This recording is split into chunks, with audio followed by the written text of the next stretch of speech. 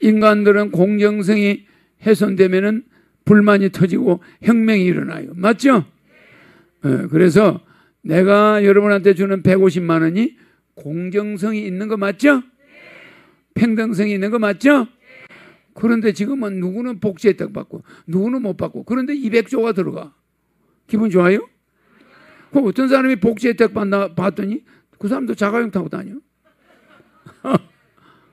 그리고 저녁, 저녁이 되면 구청 직원하고 놀러 다녀. 이게 뭐야 도대체가. 알만한 사람은 알아요. 그 많은 복지 예산이 어디 뒷구멍으로 새 나가는지 그런 혜택은 국민한테 주면 안 돼. 골고루 너 배당금 받았어? 어, 나 받았어. 너 받았어? 다 이거 정확해야 돼. 맞아, 맞아. 모든 사람이 배당금 받은 사람이 아니 1년에 200조 복지 예산이 어디로 누구한테 주어지는지 아무도 몰라? 맞아 맞아요. 노나먹기식으로 주고 있으면 되나 안 되나? 공정하게 모든 국민의 통장에 150만 원이면 150만 원 이상씩이 똑같이 꽂혀야 돼. 어, 그래 안 그래? 아주 부자들은 지급이 안 되게 할 수 있어. 왜? 기부한 걸로 하면 되니까. 맞아 맞아. 그게 노블레스 오블리주야. 그죠? 노블레스라는 건 기족이야. 기족. 이거는 뭐예요? 어? 오블리주가 뭡니까? 의무야, 의무. 책임. 아니, 기족, 배운, 가진 자들은 없는 자들에 대한 의무가 있어, 없어? 그래서 기부를 하는 거야. 그러니까 그 사람들은 국가 국민 배당금을 기부할 수가 있어요. 그래서 받는 사람은 딱 중산층까지가 딱 정해져 있는데 아무도 안 받은 사람이 없어. 나이는 18세로 제한해. 18부터 딱딱딱 들어오는 거야. 그러면 지금 가정집이 가난하지만 18 이상 아들, 딸 3명만 있고 장강 안에 3명 있고 부부 있는 집은 얼마가 들어오는지 알아요? 750.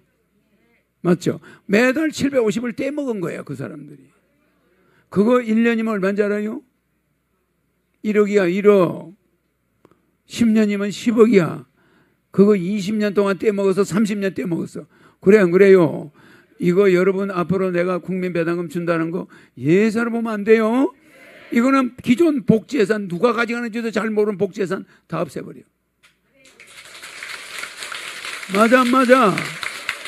뭐 기초 기초 생활비 받는 사람은 뭐 일을 못하게 이런 나라가 세상에 어디 있어? 그러니까 기초 생활비 그런 거 다 없애.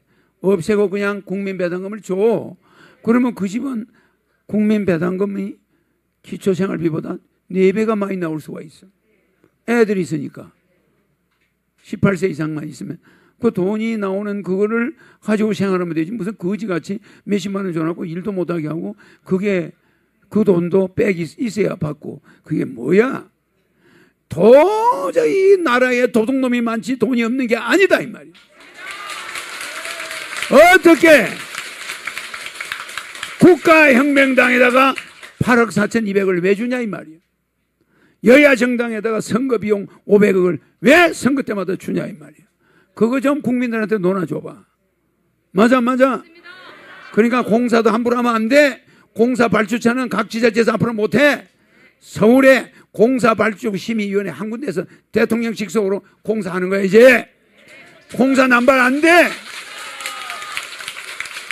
그 돈 국민 배당금으로 국민들의 현찰로 내려가야 돼, 이제.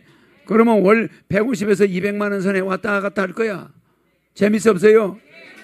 매달 나오는 돈이 최하 150만 원이야. 뭐 150만 원만 주는 게 아니야. 나라에 이익이 많이 생기면 150만 원에서 200만 원 사이가 돈이 들어와. 좋아 안 좋아요?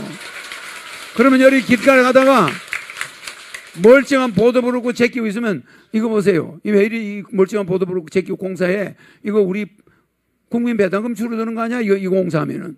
그래 안 그래? 그러니까 여러분들이 나라 살림에 신경 써 안 써? 써면서 공무원들이 부정하면 여러분들이 신고하게 되고 부정이 싹 사라져 버려. 맞아 맞아. 그리고 공무원들도 부정 안 해. 배당금이 나 국민 배당금이 매달 죽을 때까지 나올 텐데 뭘 그걸 그 부정을 하겠어? 또 공무원들의 뭐가 나오죠? 연금 나오죠? 연금이 나오기 때문에 뭘 도둑질 하노? 배당금 나오지 연금 나오는데 뭘 도둑질 해? 걱정 없죠? 그래서 앞으로 내가 하는 정책 국가혁명당은 배당금을 주는 당이지 복지 예산 포퓰리즘 해가지고 나라 살림 거들내는 당 아니야. 잘 들으세요. 지금 우리가 가지고 있는 국가의 예체도 금방 갚아버려. 배당금을 주게 되면. 무슨 지 알죠?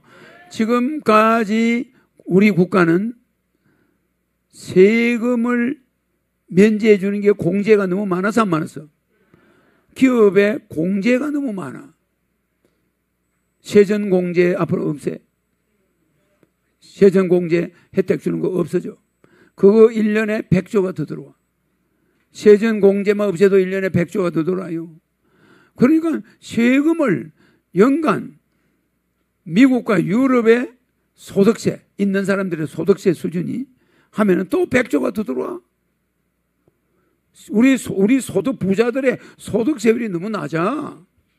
법인세는 그 정도 해놓고 부자들이 주주가 가져가는 그 소득세를 외국 유럽처럼 해버리면 1년에 또 100조가 더 들어와. 아, 그러니까 1년에 국민 배당금 줄 돈이 남아 돌아가고 예산은 전략되고 좋아 안 좋아? 국민들이 다 잘 살아요. 알겠죠? 그래가지고 막 그렇다고 과소비가 일어나냐? 아니에요. 국민들이 고생을 해봤기 때문에 저축에 안정된 생활을 할 수가 있어.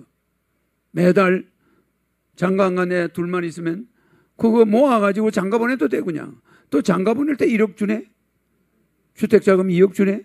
뭐애 낳으면 또 5천만 원 주네. 이래야지. 뭐 애 낳은 사람한테 뭐 10만 원 도와주니 뭐뭐 뭐 기저귀 값 주니 이따위 짓 하지 말아요. 맞아 맞아요. 그거 영리하지 않는 사람은 찾아먹지도 못해. 자동으로 통장으로 꽂혀줘야지 뭘 소속 밟아가지고 그거 몇십만 원 받겠다고 그거 그래 놓고 지가 다 닦아서 버려. 신청자가 없네. 뭐 예산이 남네. 닦아서 버려.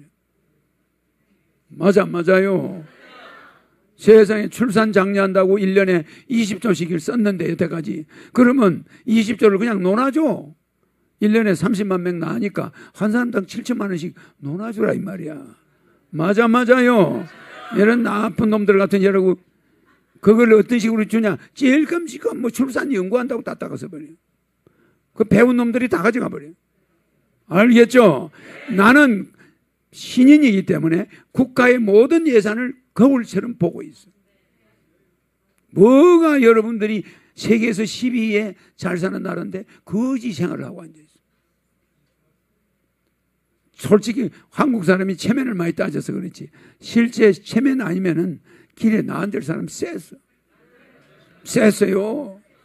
자식 꼬라지 봐서 말도 못하고, 어? 이웃 사람 봐서 말도 못하고, 꿍꿍 앓다가 오만 병이 다 걸려 있어.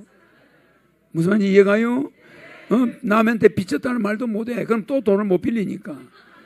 이게 얼마나 속이 상하겠어요. 나는 여러분 속을 다 알고 있기 때문에 내가 여러분을 구해줄 수 있는 유일한 사람으로 왔다는 거.